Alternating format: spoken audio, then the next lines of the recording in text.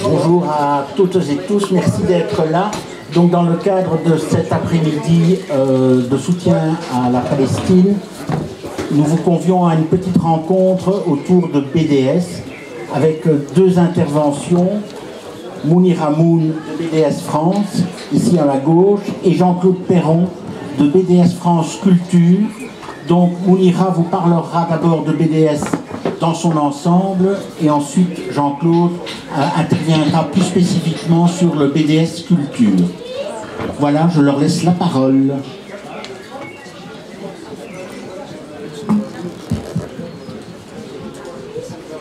Euh, donc bonjour à toutes et à tous. Euh, je m'appelle Monira, je suis dans la campagne BDS depuis quelques années. je suis aussi au groupe d'animation nationale de BDS France.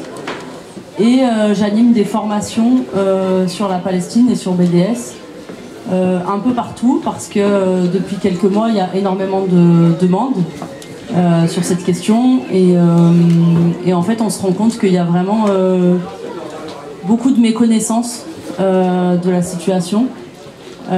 du coup, ce moment qui est un moment difficile de génocide des Palestiniens, c'est aussi un moment où les gens ont envie de comprendre et il faut profiter de ce moment pour donner le maximum d'informations et aussi pour euh, raconter euh, le récit palestinien. Puisque le récit qui est raconté par Israël, c'est pas exactement le même récit que ceux qui ont subi la Nakba à partir de 1948 et qui la subissent toujours à travers le nettoyage ethnique de la Cisjordanie, les bombardements dans Gaza, euh, le, refus de laisser retourner les réfugiés et euh, la situation d'apartheid vécue dans toute la Palestine, notamment pour les Palestiniens de 48, donc les Palestiniens qui vivent euh, à l'intérieur du territoire d'Israël. donc là, je pense que vous connaissez, tout le monde a des badges Palestine, des t-shirts et tout, donc j'imagine que vous êtes tous assez engagés. Donc je ne vais pas rentrer dans plein de détails. Euh, juste sur euh, cette, question de méconnaissance, euh, il y, a un point sur lequel en particulier on a vraiment peu de connaissances en France, c'est les conséquences des accords d'Oslo. C'est-à-dire que à peu près tout le monde imagine que les accords d'Oslo, c'est des accords de paix. tout le monde a en tête la poignée de main entre Rabin et Arafat devant la Maison Blanche. Et euh, la plupart des, gens imaginent que euh, bah, ça c'était un espoir euh, de paix et que ça a été gâché par des choses qui se sont pas bien passées derrière.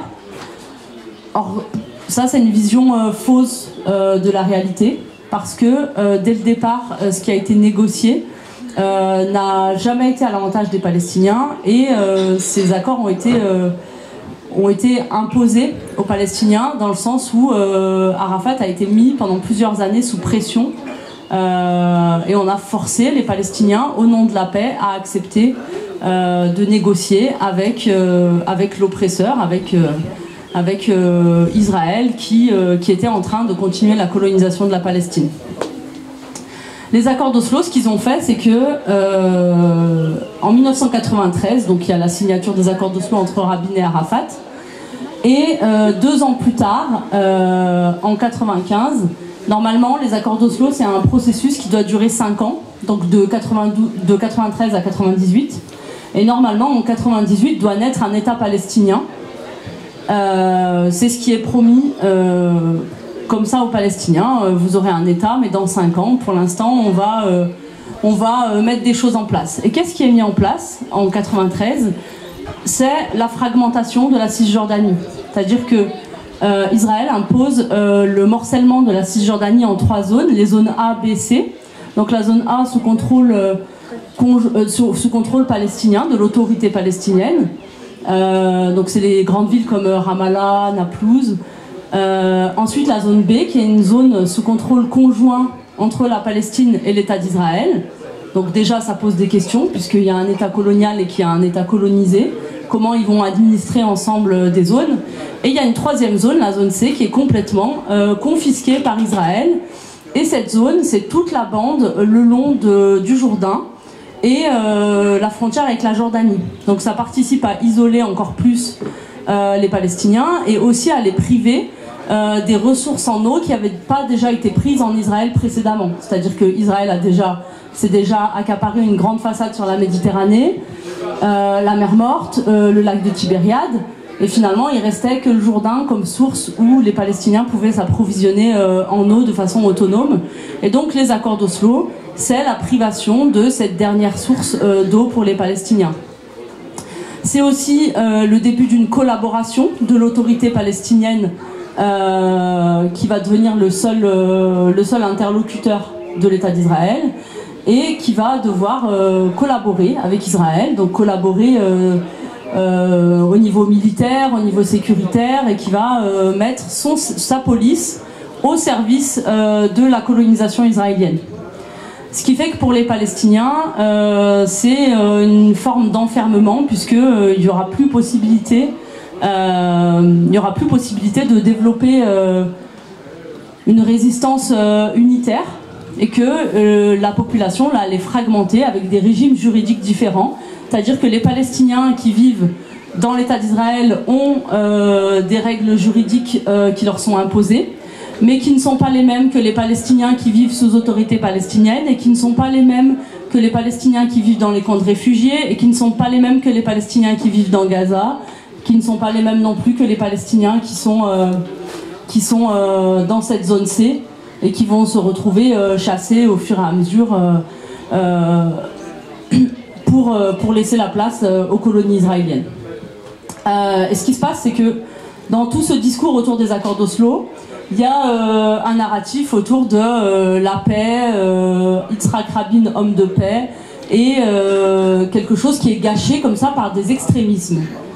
Et je dis ça parce que j'ai étudié quelques manuels scolaires pour voir comment on traite la question de cette question-là dans les manuels scolaires. Et dans les manuels scolaires, euh, il y a un processus de paix euh, qui n'a pas marché à cause des extrémistes. Et donc les extrémistes euh, palestiniens, bah, c'est le Hamas, en n'expliquant pas du tout ce que c'est, en n'expliquant pas du tout la diversité des mouvements, mais en faisant comme s'il y avait un groupe d'extrémistes indistincts. Et de l'autre côté, il y a un terroriste tout seul, qui est Yigal Amir, celui qui a tué Yitzhak Rabin. Donc lui, c'est un extrémiste isolé. Et donc la seule lecture euh, qu'on offre aux collégiens, aux lycéens, c'est euh, des extrémistes ont gâché euh, les accords de paix, etc. Et ça, c'est pas acceptable parce que ça fait des générations entières qui comprennent pas du tout ce qui se joue en Israël-Palestine. En réalité, en réalité, Rabin, c'était qui? Rabin, il a, signé de, sa main l'expulsion de 30 000 Palestiniens en 1948. Donc dès la création de l'État d'Israël, Rabin était déjà là et il a signé l'expulsion de Palestiniens. Ensuite, c'est lui en 1967 qui a lancé l'opération Drap Rouge, donc la guerre des six jours, euh, qui a euh, permis à Israël d'occuper la Cisjordanie, Jérusalem-Est, euh, etc., le Golan. Ensuite, Rabin, bah, c'est aussi celui qui a fait progresser la colonisation, même si c'était un travailliste, quelqu'un de gauche bah, c'était la gauche coloniale. Et ensuite, Rabin, quand il a signé les accords en 1993, deux ans plus tard, en 1995, il avait déjà installé 30 000 nouveaux colons sur les terres qui étaient censées revenir aux Palestiniens. Donc en même temps qu'il signait euh, des accords de paix, il s'arrangeait pour que euh, la paix n'ait jamais lieu et pour continuer à grignoter euh, le territoire palestinien. Et du coup, cette politique du statu quo, elle a toujours été utilisée par Israël et elle a toujours compté sur euh, une, euh, une situation internationale où personne n'ose trop intervenir. Du coup, quand il est mort en 95, Rabin, et qu'il a été sanctifié comme l'homme de paix d'Israël, l'homme le plus à gauche de l'histoire d'Israël, l'homme le plus à gauche de l'histoire d'Israël, en 87, à la première intifada, il était ministre de la Défense et il a donné l'ordre aux soldats de briser les os des enfants palestiniens. Donc ça, c'est l'homme le plus à gauche de l'histoire d'Israël, l'homme de paix euh, dont on euh, parle tout le temps, dont on nous euh, fait des hommages tous les débuts novembre, hommages pour rappeler sa mort, etc. du coup, c'est compliqué en face d'avoir un, d'arriver à porter le discours palestinien quand vous avez cette omniprésence euh, d'un discours imposé où un, un, homme qui a été un assassin euh, est euh, repeint en homme de paix, etc. Et j'ai vu encore il n'y a pas longtemps des, un éditorialiste assez célèbre qui a écrit un message sur Twitter pour dire Rabin revient. Mais pourquoi faire? Qu'est-ce qu'il a fait Rabin quand il était là? S'il revient, ce sera pareil en fait. Et donc oui, là il y a l'extrême droite en Israël, mais le problème c'est pas pas simplement la question de l'extrême droite, c'est la question de la colonisation. Et du coup, la gauche coloniale, elle a fait autant de mal aux Palestiniens euh, que la droite coloniale et l'extrême droite coloniale. Alors effectivement, là aujourd'hui, on est carrément en plein génocide, euh, mais la logique génocidaire était déjà là. Euh, les discours allaient déjà dans le sens de remplacer les Palestiniens, effacer leur culture, etc. Je dis pas ça pour qu'on fasse une dépression collective, euh, je dis ça pour euh, expliquer pourquoi les Palestiniens euh, ont fini par comprendre que de toute façon il n'y aurait pas d'issue internationale à cette histoire, enfin internationale dans le sens les puissances internationales qui s'interposent, mais que le seul salut de la Palestine, ça pouvait être d'avoir du soutien international, mais à travers les sociétés civiles. Et, pourquoi, euh, pourquoi il lance cette campagne BDS C'est pour donner un outil à toutes les sociétés civiles du monde pour euh, la solidarité avec la Palestine. Du coup, l'idée, c'est que les gens vont prendre en charge des campagnes de boycott, de désinvestissement et de sanctions pour euh, contraindre Israël à respecter le droit international. donc évidemment, la campagne BDS, elle n'est pas faite pour être portée par la France, la France de Macron, ni la France de Hollande, ni la France de Sarkozy, hein, euh, pour remonter un peu. Elle n'est pas faite pour être portée par les États et les institutions, elle est faite pour être portée par la société civile et imposée aux institutions. Euh, c'est un rapport de force, c'est une euh, lutte à mener, et effectivement, dans les luttes à mener, bah, il y a des difficultés et il y a beaucoup de stratégies. Et donc les Palestiniens, ils ont pensé la campagne BDS avec une stratégie, avec un ciblage efficace de quelques entreprises euh, qui sont les plus impliqués dans les violations des droits des Palestiniens.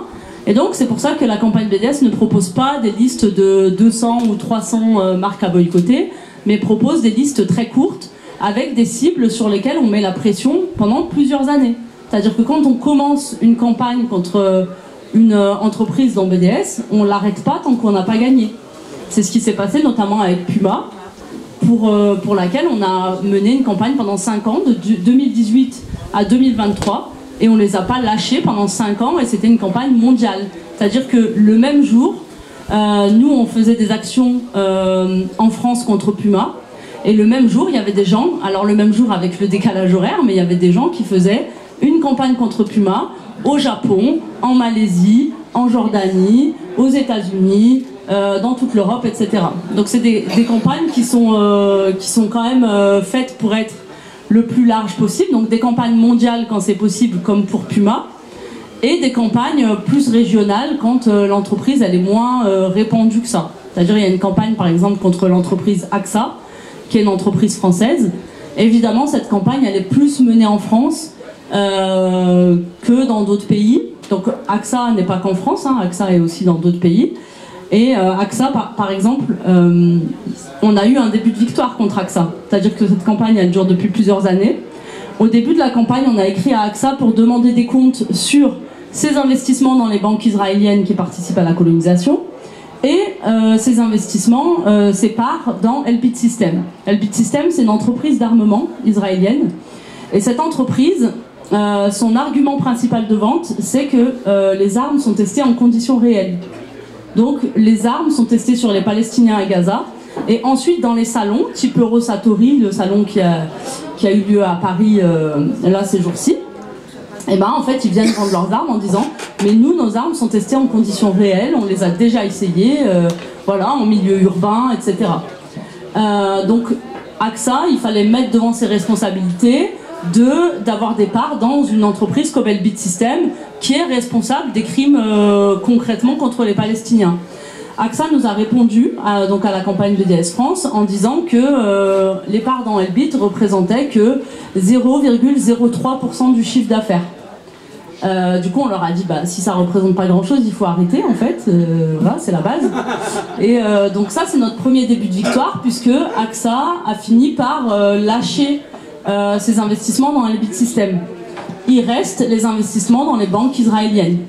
Donc c'est une campagne qui continue, mais on voit qu'il y a de l'impact dans, dans, ces campagnes qui sont stratégisées, réfléchies et tout.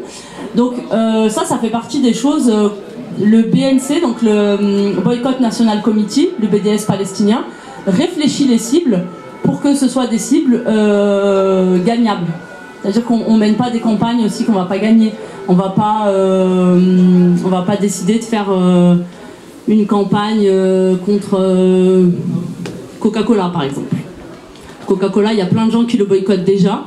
moi, à titre personnel, je boycotte Coca-Cola, mais la campagne BDS, ne peut pas se lancer dans le boycott d'une entreprise euh, si on ne peut pas gagner.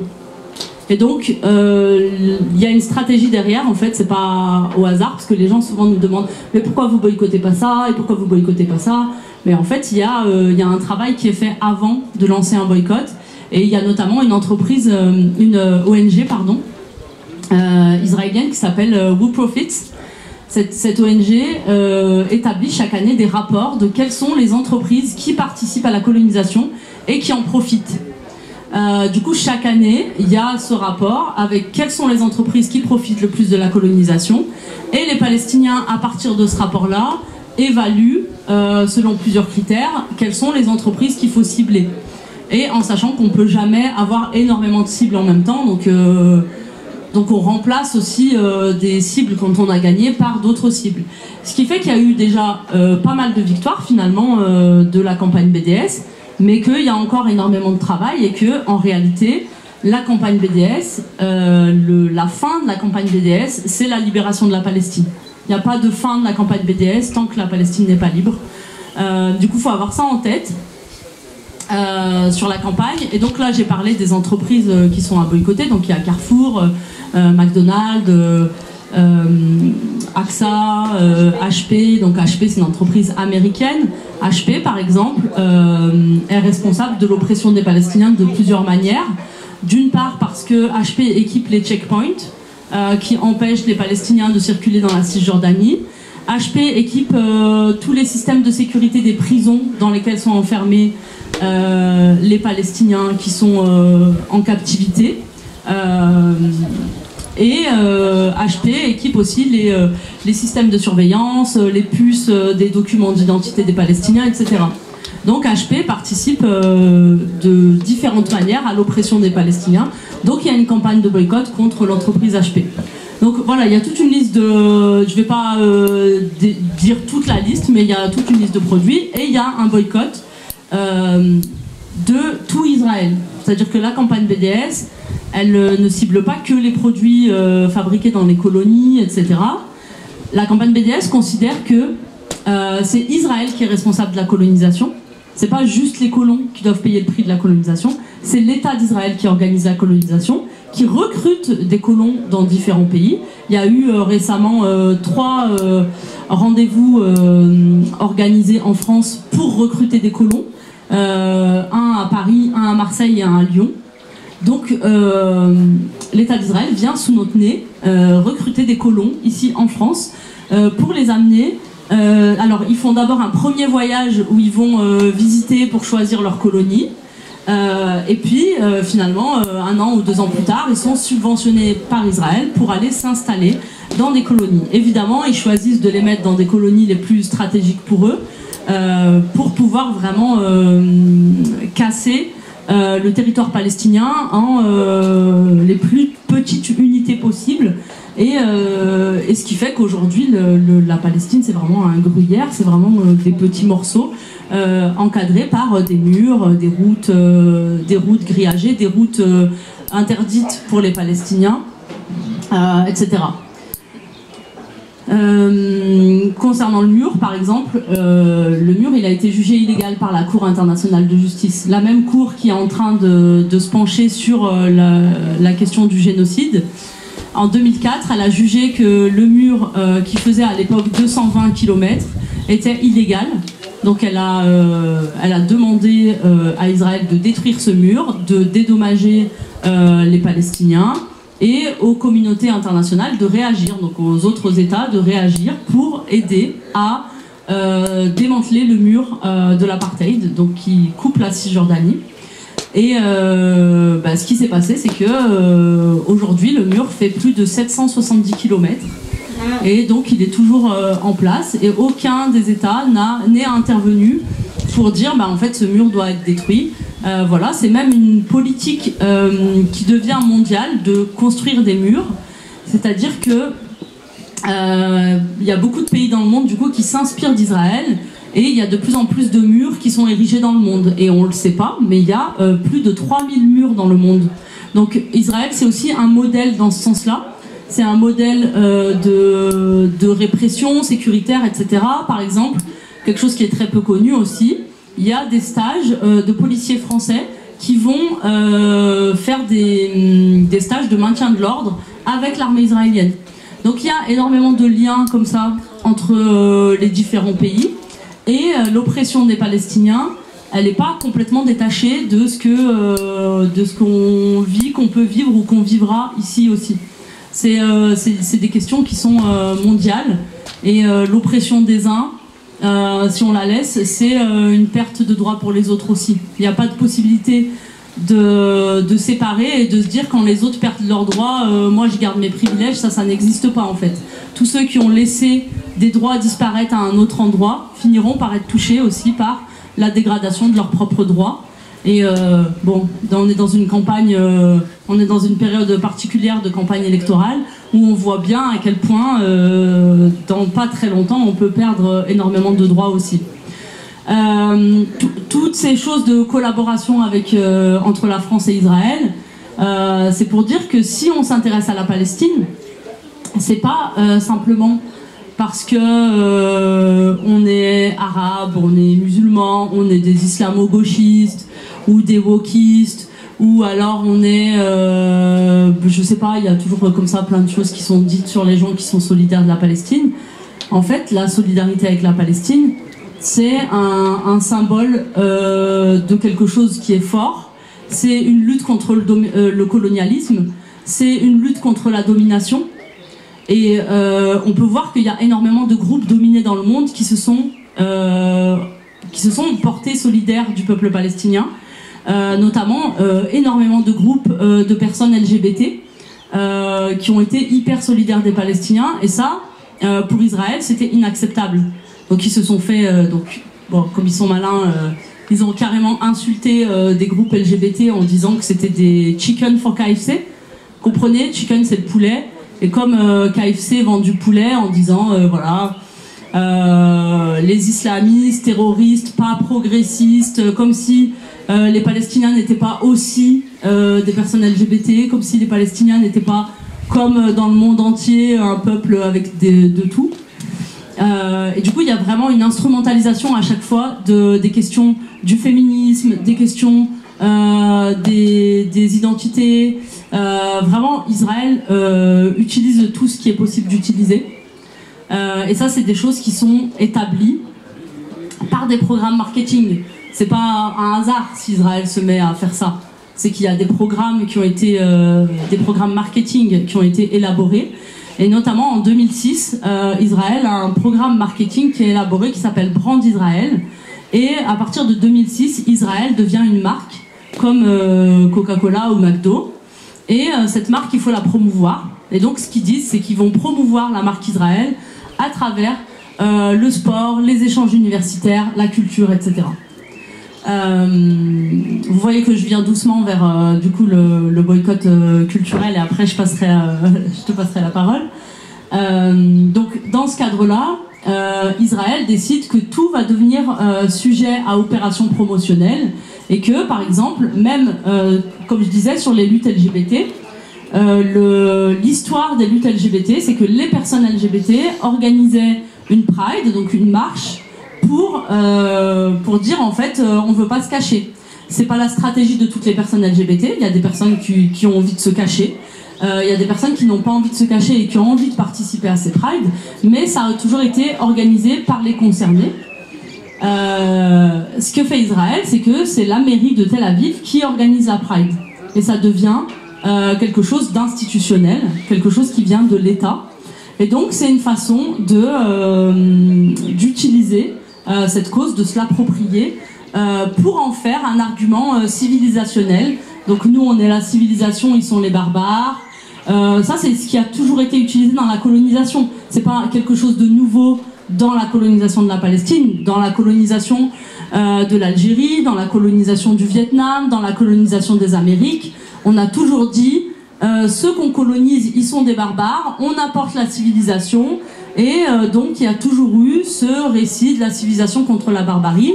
Aujourd'hui, c'est l'utilisation des luttes LGBT, l'utilisation du féminisme, l'utilisation euh, même de, l'écologie, euh, il y a du greenwashing, il y a l'utilisation de... Voilà, vraiment toutes les causes sont utilisées au service euh, d'un nationalisme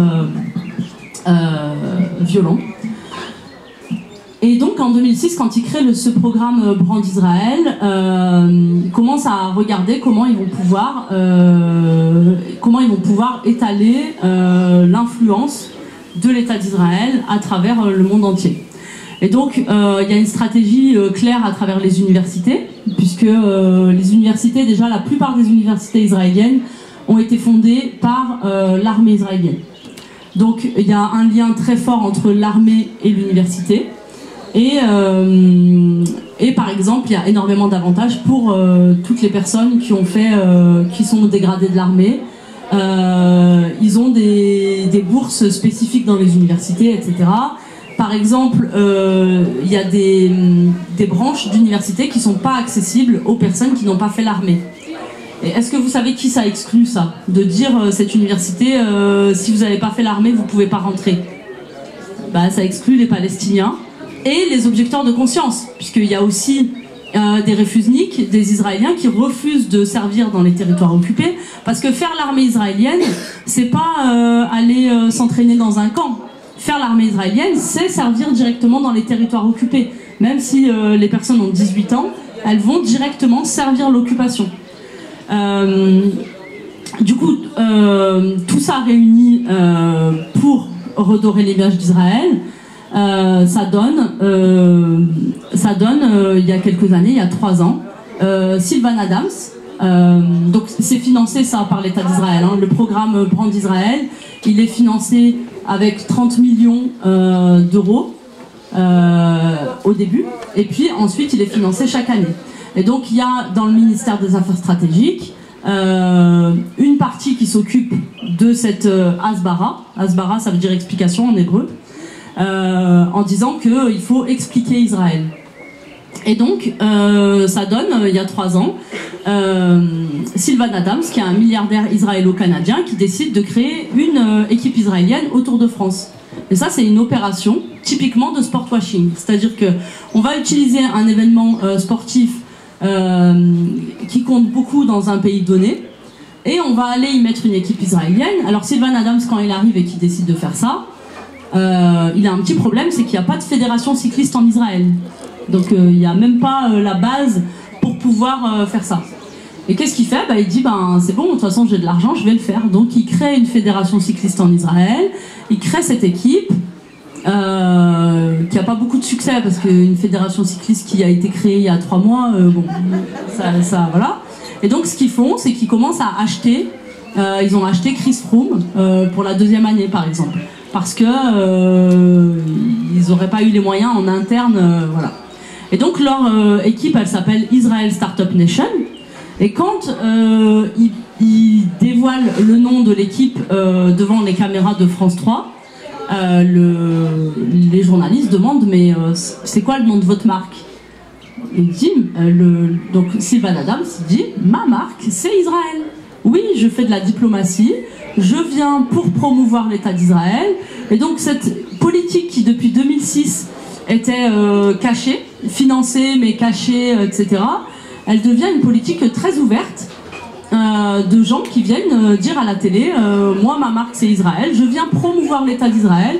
C'est pour ça que mon équipe elle s'appelle Israel Startup Nation et ça passe crème. C'est vraiment voilà tranquille, etc. du coup, face à ça, la campagne BDS, elle développe bah, particulièrement le boycott culturel, le boycott universitaire, le boycott sportif. la campagne embargo militaire, vous avez peut-être vu sur une table là-bas, elle est plutôt gérée depuis quelques mois par Stop Arming Israel, donc il y a un, un collectif qui s'est monté un peu dans l'urgence pour reprendre la campagne d'embargo militaire euh, et, qui a obtenu déjà euh, une énorme victoire, c'est-à-dire l'annulation de la présence euh, de 74 exposants israéliens à Eurosatori.